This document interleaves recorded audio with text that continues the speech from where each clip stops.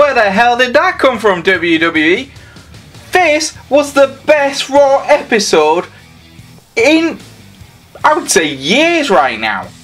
This is Raw Review.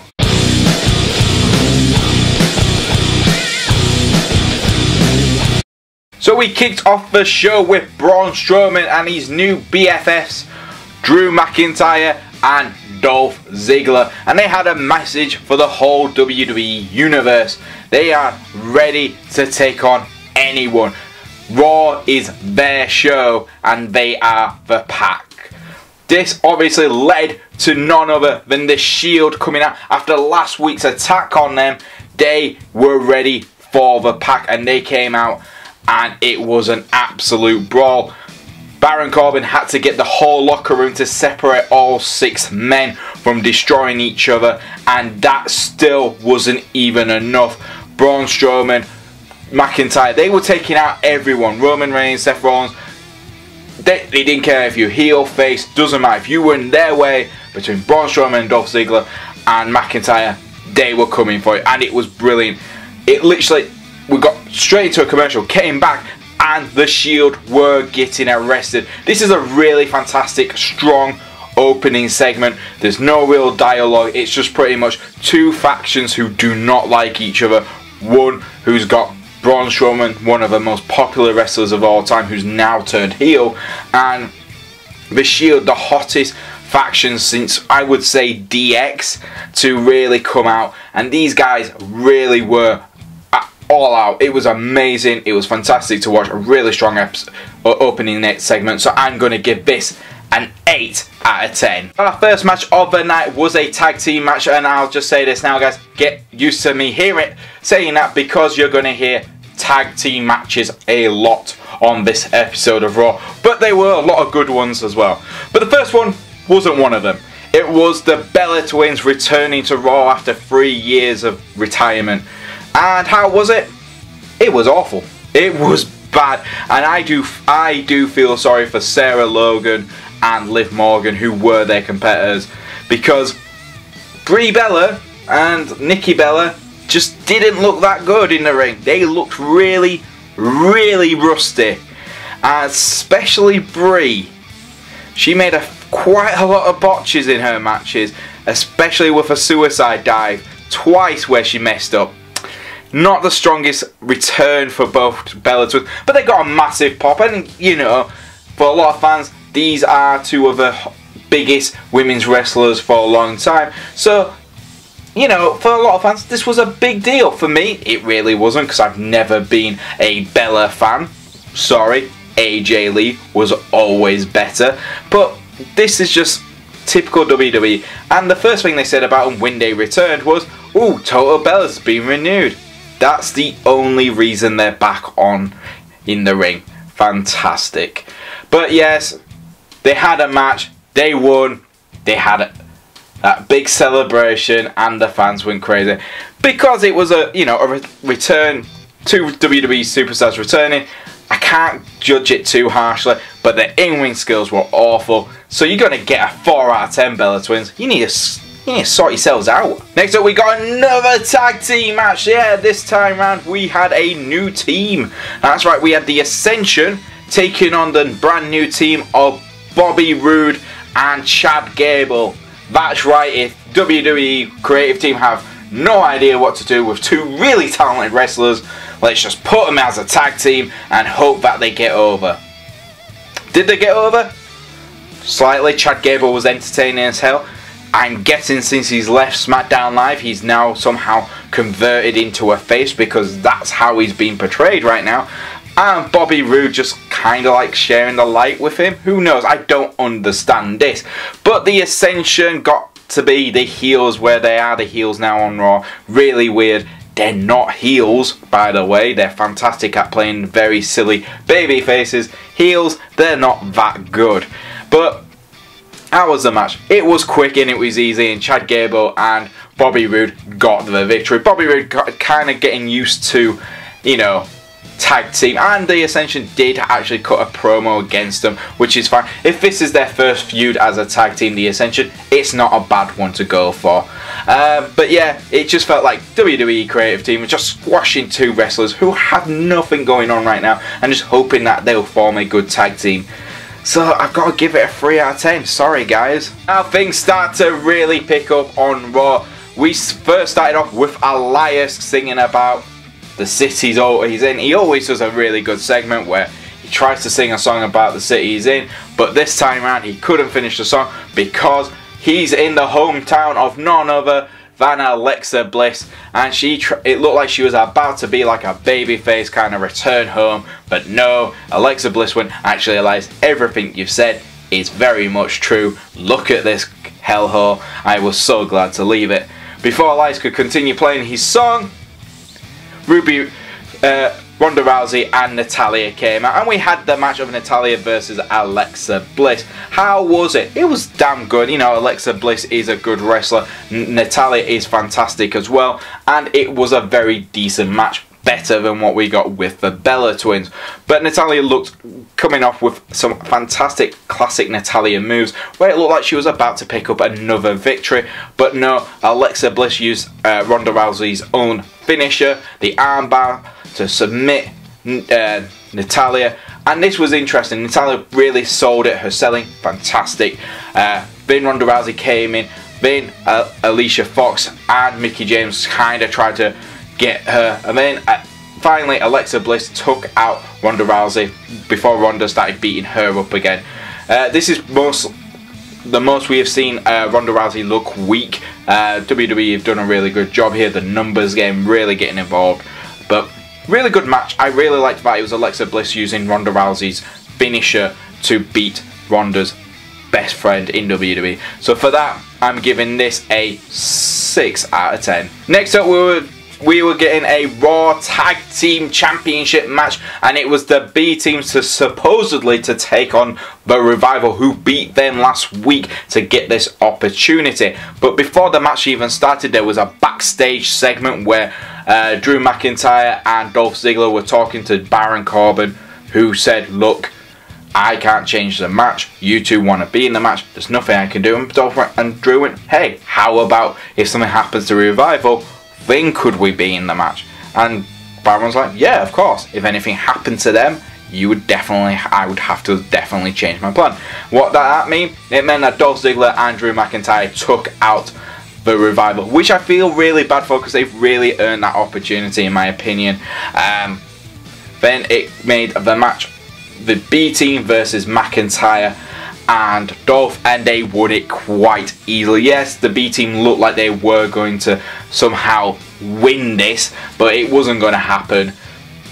McIntyre Andrew, now the new Raw Tag Team Champions. Very good little bits. I like the whole backstage stuff. Even though the match was really quick, getting a title change is always fun. It's always exciting. So I'm going to give this segment a 7 out of 10. Next up we had the Authors of Pain, taking on some local talent and that local talent got squashed. There you go. A A AOP won with two seconds. It, it felt very quick. But the biggest thing was Drew Maverick was Drake Maverick is now the manager of AOP. Rockstar Spud is now the manager of AOP. That is awesome. WWE are using him what brilliantly here. He's still the GM of 205. He still says it, but he has new clients. Kind of like a Paul Heyman kind of character right now, isn't it? Um, yeah, I, I really like this. I everyone's like, "What? What? Why is Maverick in, in AOP gear? What's going on? What's going on?" And he goes, "I am now representing AOP," and I thought, "Oh, this is brilliant. This is well put together. I like this." New management. AOP needed that. They need a, a strong talker and Drake Maverick is the guy. So for me, I'm giving him an 8 out of 10. Now we get to the best part of the whole night. Shawn Michaels return to Raw. Yes, uh, Shawn Michaels was giving his view on Undertaker versus Triple H at the Showdown Down Under match. Last time ever. My God, And how was it? It was Shawn Michaels at his absolute best. HBK, the Heartbreak Kid, Mr. WrestleMania, Mr. Main Eventer. Oh my, he is the he is one of the best wrestlers to ever exist, and he just he talked about how his own legend, like legends who he respects and stuff, put the Undertaker over Triple H, and he goes, look, Triple H is still the guy. He's still the man. He still has that extra, you know, level to go. Undertaker doesn't have the streak anymore. He doesn't have that, and that's why I think Triple H will win. And when he said that, the Undertaker arrived. That's right, The Undertaker and Shawn Michaels were in the ring once again. This is like history, guys. If you've not seen these two fight, just check them out. But if you're watching this channel, you've obviously seen Undertaker versus Shawn Michaels.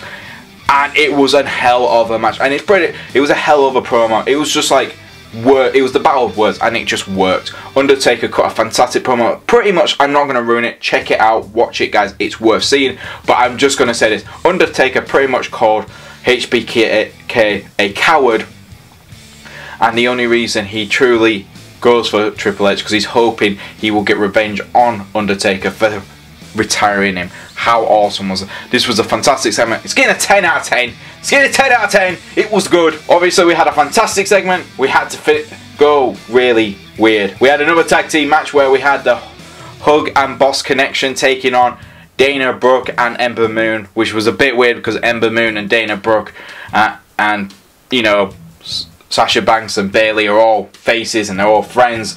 And why did we have the tag team? I don't know, but it pretty much meant that Sasha Banks and Bayley won. No surprise. Bit of a shame Ember Moon had to be on the losing team, but you know what? She didn't get pinned. That was Dana Brooke. But this was all to tell the story of Dana Brooke having another match yet again, having Titus Worldwide, aka Titus O'Neil, shouting too much information, making her lose her concentration, and costing her the match. And that meant that she got angry with Titus Worldwide, and she, I think she quit Titus Worldwide interesting. This this is good. It means Dana Brooks is actually getting some character development, which I'm happy with. This, you know, because she is. She deserves character development. So for me, I'm going to give it a six out of ten. Next up, we had Bobby Lashley being forced to go to anger. Well, Jinder Mahal's spiritual anger control thingy majiggy, aka Baron Corbin handed him a letter. Performance review said Bobby Lashley's too angry. He needs to control his anger you gotta go and see Jinder Mahal, spiritual leader. Okay, that's fine. Jinder was there trying to make him, and Bobby Lashley's like, oh, my man. And he's trying to concentrate, trying to concentrate. Kevin Owens returns. That's the best bit about this whole segment. It was awful, uh, but at least Kevin Owens returned. And it was fun. It was actually fun to see Kevin Owens come back. Everyone was shocked. He power bombed Bobby Lashley onto the corner of the ring because that's the hardest part of ring. Did you not know? Michael Cole tells you that every damn week when Mike. Yeah, so it was fun. It was great to see, you know, Kevin Owens back after he quit last week. Weird, but a bit too soon in my opinion for Kevin's return. But it's kind of interesting. Is he going to become like more vicious? Is he going to attack people for no reason? We'll have to wait and see. But yeah, just don't know how to mark this. I'm, I'm just going to give it a 5 out of 10. 6 out of 10 because I have Kevin Owens in it. And this moves us on to our main event which was supposed to be Finn Balor versus Baron Corbin which was meant to be their final match. But because Baron Corbin is such a busy, busy acting general manager, he couldn't make the match so he announced it will be Braun Strowman taking on Finn Balor and of course Drew McIntyre and Dolph Ziggler will be in Braun's Corner. Of course they are. They are now BFFs. Did I mention they are BFFs? So, yeah, it was a... I gotta say, if you want to make Braun look like a damn good heel, make him beat up probably one of the nicest, light baby faces on the company, Finn Balor. And it works. It does work because everyone who were chanting for Braun at the start of the show were booing him like hell when he started beating the crap out of Finn Balor. But saying that, Finn Balor does what Finn Balor always does, and it makes the match look more like he could win it in a significant way, and that's by cho choking Braun. Yes, he tried to use uh, strategy to beat the big guy. He was so close a few times to doing it. Obviously, Braun being the bigger, stronger, sweatier big man, which Vince McMahon really loves, obviously meant that Braun was going to win quite soon. And he did. He squashed Finn and then Drew McIntyre and, and Dolph Ziggler and Braun Strowman started beating the crap out of Finn Balor. Next thing we know, a police siren turns up and the Shield return. And before the Shield can come in and take on the pack, it looks like the whole back locker are there to stop the Shield yet again, but it's not. It's all the heels from the locker room come out and attack the Shield. That's right, not all baby faces came out, all the heels came out to take on the Shield and they destroyed the Shield. Um, I don't know if this was all planned by Braun Strowman, but it was very interesting. It was fantastically put together. Uh, by the end of it, they were just a, a destroyed mess on the end. For this, all this fantastic match, really good booking to make Braun feel more and more like a damn, damn heel. And with the Shield being absolutely destroyed by a massive amount of wrestlers who are all heels right now, this was well well written. So for me I'm giving it a 9 out of 10 and there you go guys. That was Raw for this week. There was a lot of tag team matches. There was a few matches which was just bad or just lazy. But the big bits like the Shield being arrested the, you know HBK and The Undertaker in the middle of the ring. I never thought I'd see that again. And in the main event that all just destroying of a shield was fantastic. For me, it's really well put together. One of the best Raw episodes I've seen in such a long time. So with that all in mind, I'm giving this episode an 8 out of 10. Well done Raw, you did a really good job. Uh, what did you enjoy about Raw this week? Leave it in the comments below, guys. And if you do like our videos, please like, subscribe, press the notification button to keep up to date. And if you want to follow the channel on Twitter, you can do. It's at Smack Talk YouTube. And if you want to follow me on the old Twitter, it's at Boyze88. And I'll see you guys next time on Smack Talk Wrestling Reviews.